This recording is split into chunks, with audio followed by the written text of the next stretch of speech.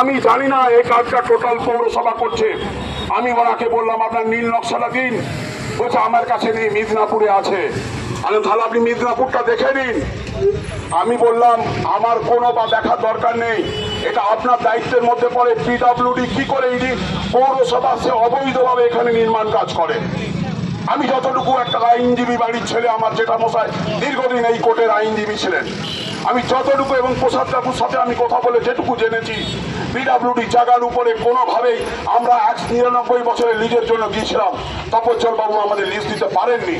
যা যা যাবতীয় ডকুমেন্ট উনি চেয়েছিলেন, আমরা সেগুলো সাবমিট করেছিলাম এই ক্লাবের পক্ষ থেকে। তারপরে আজকে উনি বলছেন, আমি তো জানি না, আবার চেয়ারম্যান কাল কোনো একটা নিউজ চ্যানেলে বিবৃতি দিয়েছে। যে আমরা তো এটা জানি না। তাহলে কে জানে? পৌরসভা বলছে, আমি জানি না। পিডাব্লিউডি কাজ করছে এবং পিডাব্লিউডির মশলা মেশিনে এখানে পড়ছে, সেটা আমরা ভিডিও ফুটেজ আপনাদের দেখা যাবে আপনারা বলুন তো, কোনো একতলা বাড়ি হলে সেখানে ষোলো রড লাগে? আপনারা প্রশ্ন করছে আপনাদের। জনগণকে প্রশ্ন করছি ঘাসালবাসীকে একতলা যদি একটা প্রতীক্ষার হয়, সেখানে ষোলো রড লাগে? না, আগে না। আমাদের কাছে বিশ্বস্ত খবর আছে। এখানে অবৈধ নির্মাণ কাজ হচ্ছে, যার এখানে দুতলা বাড়ি হবে, তার উপরে দুটো অফিস হবে। কেন হবে এই ঘাটালের সৌন্দর্য বড় কথা নয়? কাজল বাবু পোস্ট করেছেন। সেই পোস্টে নিরানব্বই শতাংশ মানুষ নেগেটিভ সাইন করেছে। যে না, এটা মানতে পারছি না। সব থেকে বড় কথা, এসটিও ডিএম যখন এসটিও সাহেবকে কালকে ফোন করে জানালেন মিদনাপুরের মুখ থেকে আমরা তখন ওখানে উপস্থিত। যে আপনি ইমিডিয়েটলি কাজটি পোস্টপোন করুন। সামনে ইলেকশন আছে এবং এখানে কোনো মতেই কোনো কাজ করা যাবে না। কারণ উত্তেজনা শুরু হতে পারে, আপনার সামনে ইলেকশন আছে, আপনি কাজটা পোস্টপোন করুন। কিন্তু উনি কাজটা পোস্টপোন করেননি। তারপরে যখন পার্থবাবু এলেন, এই ঘাটালের একটা শিলন্যাস করতে সঙ্গে যে ডিএম এসে যাবে উনি বুঝতে পারেননি। তৎক্ষণাৎ ওসিকে দিয়ে উনি তাড়াতাড়ি করে কাজটা বন্ধ করে দিয়েছেন।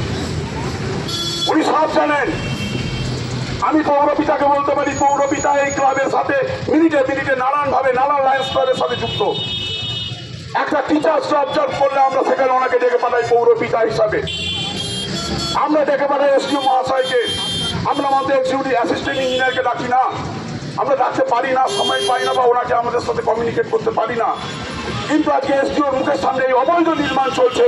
তা সত্ত্বেও কি করে আজকে এস এসডিও মহাশয়টা মেনে নিচ্ছেন? এবং ডিএম বলা সত্ত্বেও কেন কাজটা এখনও বন্ধ হচ্ছে না? আপনাদের অবগতির জন্য জানাই, একাশি মৌজায় যখন এই বাঁধ কাটা হয়, আপনারা দেখেছিলেন জেসিপি দিয়ে যখন খাল খনন হয়, বড় বড় তিনতলা, চারতলা বাড়িগুলো ধসে ধসে পড়ে গিয়েছিল। আপনারা বলুন, আজকে আমার এই লায়ন্স ক্লক টাওয়ারের সামনে যে গর্তটা হচ্ছে, যে কোনো সময় যদি ক্লক টাওয়ারটা ন্যাচারাল ক্যালামিটিকে যদি কোনোভাবে একটু ভূমিকম্প হয়, কেউ আমরা বলতে পারব ন্যাচারাল ক্যালামিটি কখন কি হতে পারে? তো কোনো কারণে যদি টাওয়ারটা উল্টে পড়ে এর দায়ভারটা কে নেবে?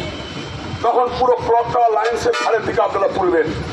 তাই ঘাটালবাসী, সচেতনবাসী, আমি এটা খুব ভালো করে জানি। অলরেডি ফেসবুকে ভরিয়ে দিয়েছেন আপনারা। তার জন্য আপনাদেরকে কুর্নিশ জানাই এবং আজকে যে ছ থেকে সাতটা ক্লাব, চব্বিশ ঘণ্টা ফেসবুকে সামান্য একটা পোস্টে, এই এত মানুষ আসবে আমি এটা ভাবতে পারিনি, এত ভাইরা আমার আসবে। তা আমি সবাইকে বলব, আজকে যে প্রতিবাদী কণ্ঠ আমাদের এখান থেকে উঠছে, এটা আমাদের আজকে সবে শুরু করলাম। হিমসৌলের চূড়া মাত্র। এরপরে যদি এক ইঞ্চি ঘটে এই বুকের উপর দিয়ে আপনাদের রোলার চালাতে হবে বুল্লেটার চালাতে হবে, এটা বলে গেলাম। এখানে যদি এক ইঞ্চি ওঠে, এই বলে আমি আমার বক্তব্য শেষ করলাম এবং এটাকে ভাঙতে হবে। কাজ ইমিডিয়েটলি আমরা প্রতি দাবি করছি, তার বন্ধ করছি। এরপর আমাদের বক্তব্য রাখবেন, আমাদের ঘাটাল লায়ন্স ক্লাবের প্রতিনিধি। আমাদের ঘাটালের নাগরিক স্বরূপ কর্ম আছে।